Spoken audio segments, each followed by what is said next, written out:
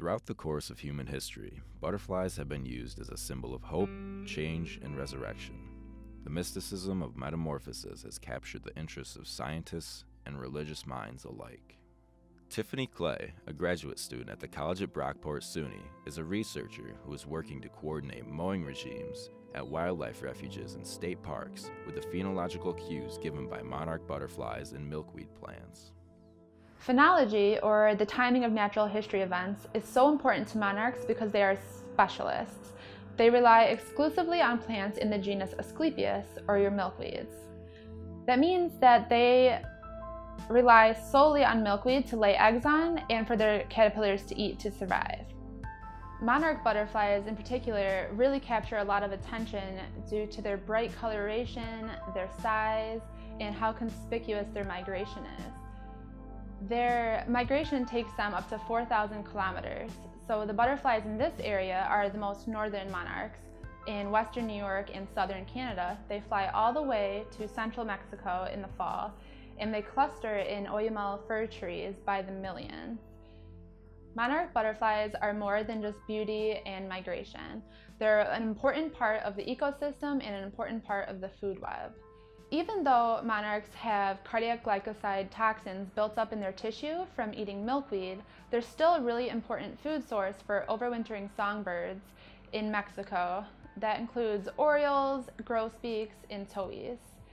And then when they're in their immature stages in the north and their breeding grounds, they're an important food source for a lot of insects and invertebrates, including things like spiders, beetles, ants, and wasps.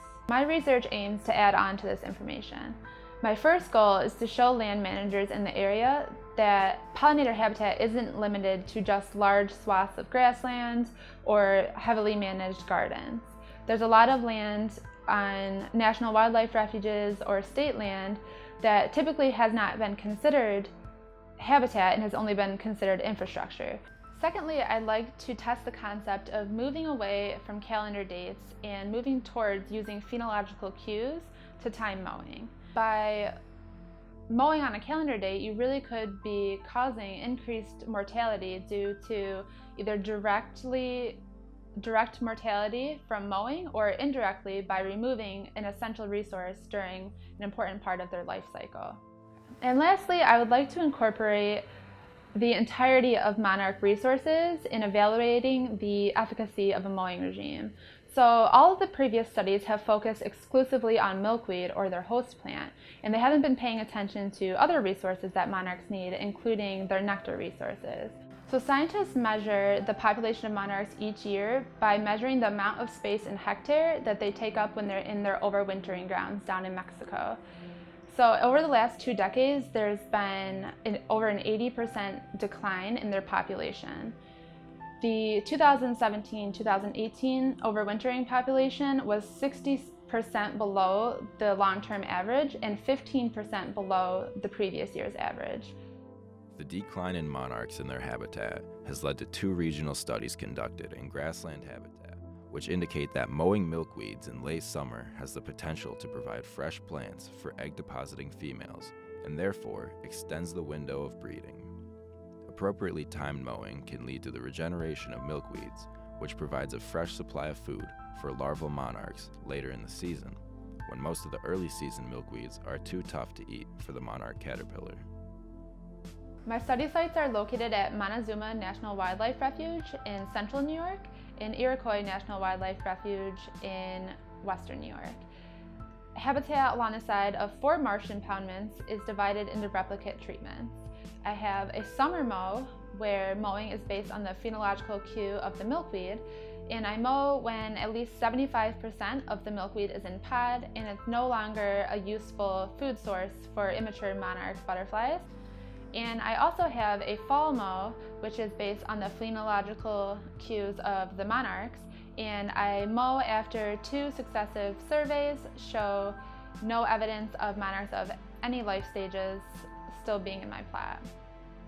My results were consistent with previous studies in that it shows that mowing in mid-July allows adequate time for milkweed to regenerate and extends the breeding season for monarchs. However, what I found that was surprising was none of the milkweed that was regenerating was going past the vegetative stage. So there was reducing a huge nectar resource in the area. And also none of the nectar resources that were present in the plats before mowing were able to regenerate and be available later on in the season. And that's a really important finding. By mowing in mid July, you are allowing one half of their resource needs to be completed by providing milkweed longer throughout the breeding season. But you're also removing half of their resource needs and removing all nectar sources from the area. So my suggestion for landowners would be to take careful consideration when choosing which parts of their land to conserve for monarchs. So it's best to choose habitat patches that are located near some area of refugia where monarchs can go to access older milkweed and nectar resources while the other milkweed is regenerating.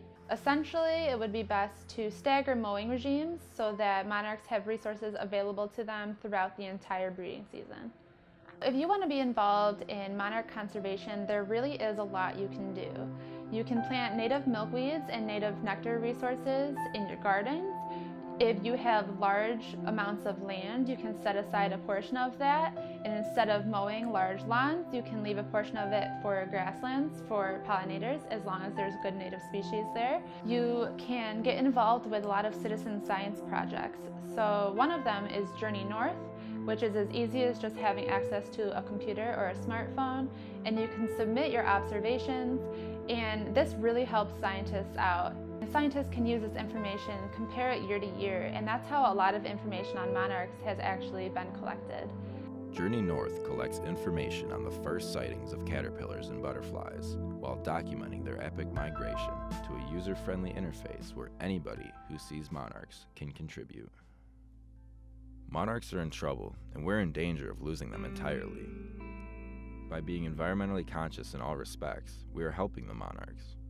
In looking for perfected yards and weed free landscapes, we sometimes overlook the chain reactions that can occur to fragile ecosystems. Unnecessary use of pesticides and overmowing are huge contributors to the monarchs' declining numbers. We all need to do our part to save the monarchs, and the first step is educating ourselves. Contact your local wildlife refuges or state parks to see what you can do to take part in the conservation of this iconic butterfly.